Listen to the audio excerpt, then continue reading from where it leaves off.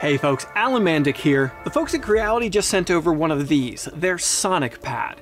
This is their Klipper tablet device that allows you to supposedly easily install Klipper firmware onto various printers. I also happen to have an Ender 5 S1 that I unboxed a while ago, that's kind of just collecting filament and dust. I want to see if in one day I can not only convert that machine to Klipper using the Sonic Pad, but get some pretty good and fast print results out of it. So let's see what we can do.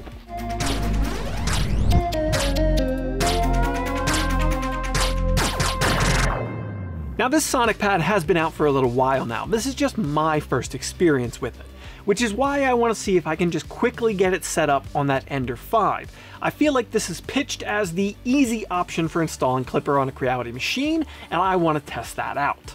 It's definitely not that I have a bunch of big projects going right now and I only have so much time to devote to this. Generally when I'm running Klipper, it's on a Raspberry Pi, a dedicated MCU board that has its own SBC, single board computer built into it, or I've even used an HP netbook that's over a decade old to run Klipper on a printer. In comparison, let's get the Sonic Pad out of the box to see what it is. Inside of the box is, of course, the Sonic Pad, which is a 7-inch touchscreen, 1280 by 600 resolution, and an SBC effectively strapped to the back of it, or you could consider it a tablet. On the side, we'll find two USB 2.0 ports for connectivity. Flipping it around to the back, we'll find the rest of the I.O., as well as a couple little kickstand legs on it.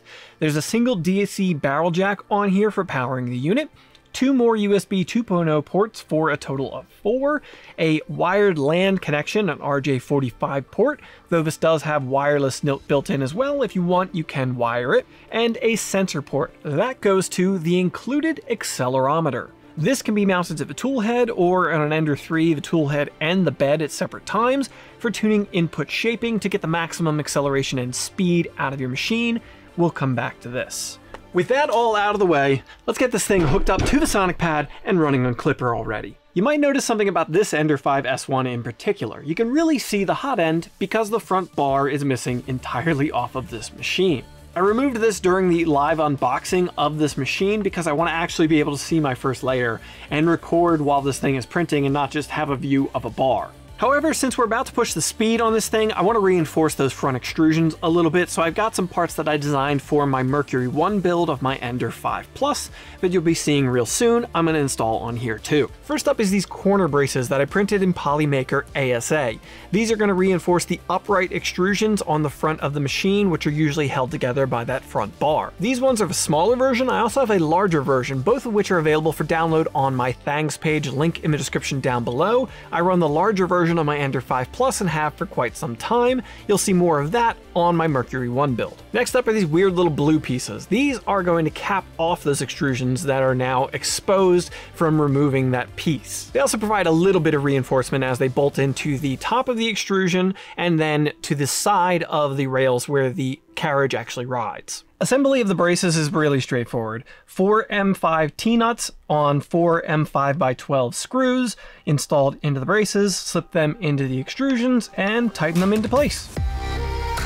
Now that those pieces are installed, we can set up the Sonic Pad on this machine. Diving into setting up the Sonic Pad really impressed me. I think Creality has gone a long way to simplifying the process of installing Klipper using this setup with the configurations it supports. Between the pretty decent included instruction manual and the on-screen prompts, it's pretty straightforward to select the language you're using, the region you are in, get connected to my studio Wi-Fi here, update the software on the Sonic Pad, and then finally select the configuration that I need for the machine that I'm using. Once everything's configured, it runs into a really solid self-test to test out the heaters and the fans, help you guide through testing these things to be sure that they're all working the way they're supposed to. There's also some additional configuration stuff you can do that's in the manual and will help, like PID tuning. All of that worked pretty beautifully, until I looked in the config and started to actually analyze what was going on here, and I found a couple of glaring problems. I wanted to take a look at the bed mesh and make sure that things were reading properly.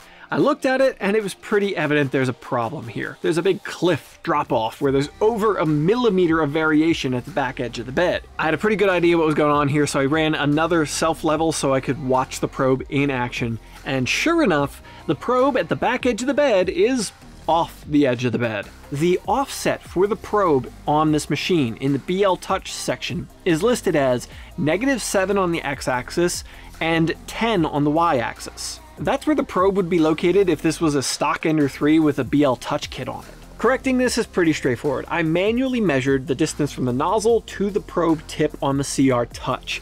I found that it's about 2 millimeters negative on the x-axis and 46 millimeters positive on the y-axis. With the probe parameters corrected, I'm actually able to get a proper bed level reading off of this thing and move forward with actually printing. I want to do one last tuning thing before we get into laying down plastic with this machine, and that is using the input shaper tool to do a resonance compensation. The STL for this mount is found on the USB stick provided with the Sonic pad, and it allows me to mount to the side of the sprite extruder on the toolhead. I removed the fan guard to shave a little weight because it's just fan guard and aesthetic piece. The manual will help guide me to the input shaper tool. Once that's running, the machine will vibrate the X and Y axis at various frequencies to find the optimal settings for this machine. When the tool's done running, it does a save config and saves the new input shaper parameters into the printer config file.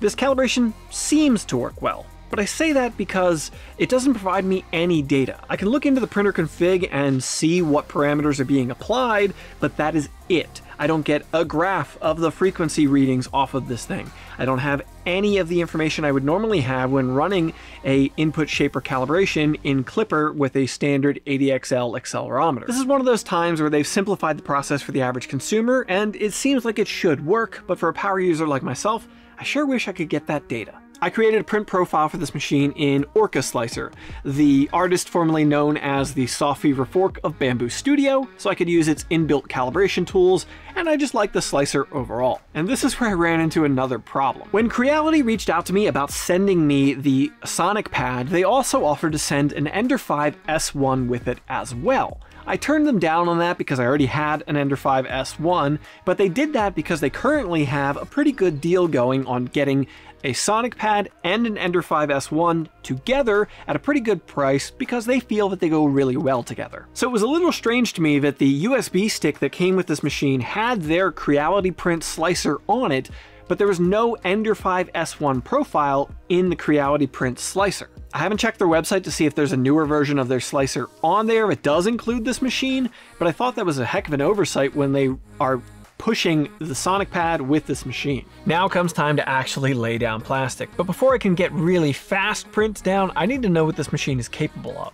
It has that proprietary Creality nozzle with the longer heater block like a spider hot ends have, so the first thing I did was lay down a flow rate test. This racetrack allows me to run at increasing speeds as it goes up. I was able to create this in Orca Slicer and from this testing, I think I've narrowed in at about 15 millimeters cubed per second on this hot end. That is better than a standard Mark 8 hot end, but not quite as good as a Volcano. I had hoped for a little bit better out of this. But armed with that information, I followed my own standard tuning steps, tuned in this filament a little bit, and started laying down real prints. Of course, the age-old question is, how fast can it print a tiny boat? So I laid down a Benchy using Inland Gray PLA Plus, this thing printed in just about 28 minutes, breaking the 30 minute benchy barrier. Are there faster benchies? Absolutely, but I still think that's fairly impressive for the first print I actually did with this machine. The print quality also turned out a little better than I expected. A little bit of bow curling on the front from a little bit of overspeeding and undercooling, but otherwise the overall print quality is pretty solid on this. The next thing I printed was what's become my own personal benchy, the Voron Stealth Burner Shroud.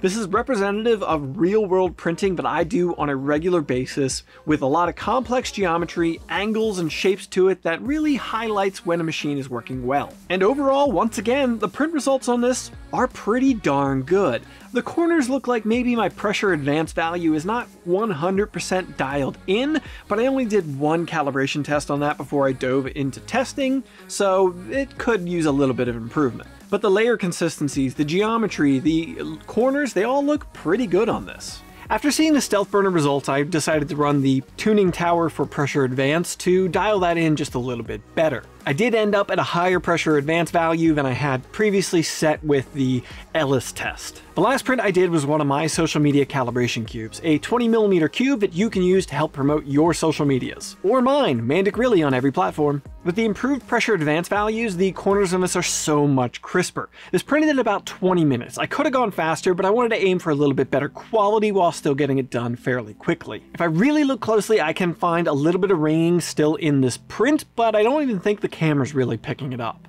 And with that, we come down to a $169 question.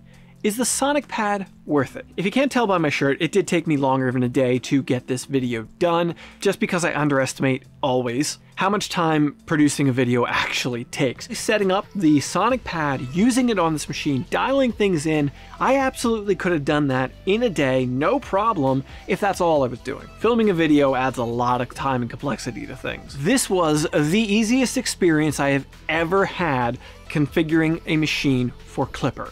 the least amount of time messing around, dialing in my printer configuration, getting Klipper installed onto the pad. It was already on there, so that's just so easy. I did have some configuration issues as I highlighted, but they were pretty easy for me to fix.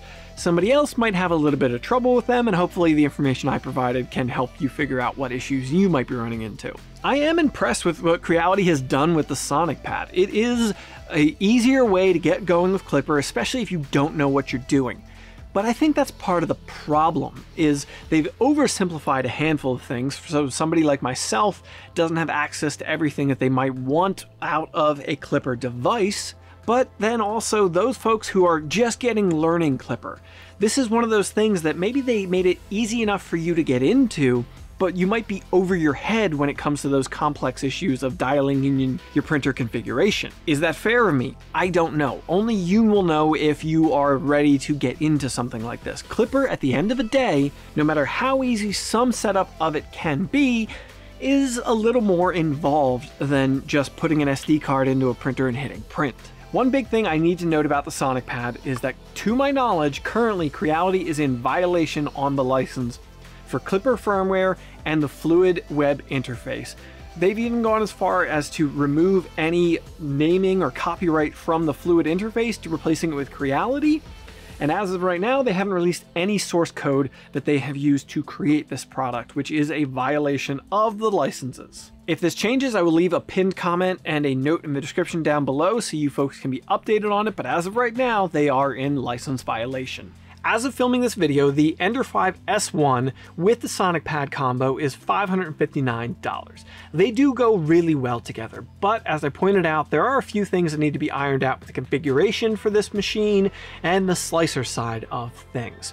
The Sonic Pad itself is $169 as I was just looking, and that's more expensive than a Raspberry Pi that's not being scalped, but good luck finding a Raspberry Pi right now. I can't decide whether or not this combo or this product, the Sonic Pad, is right for you. For me personally, I really want to see them get right with the open source licensing side of things, but the tools in it are pretty impressive and made this setup a lot easier than it would have been otherwise. And I think that's where we're going to wrap it up for this one, folks. I've got a lot of projects I have to get to so I can get new videos out for you. Maybe check out some of my older ones in the meantime, such as this one, tuning in a 3D printer. I use a lot of the steps from that video, tuning in this Ender 5S1 for this video. Alright folks, get subscribed to ensure your 3D prints don't fail. It's not a guarantee, but it can't hurt. See ya!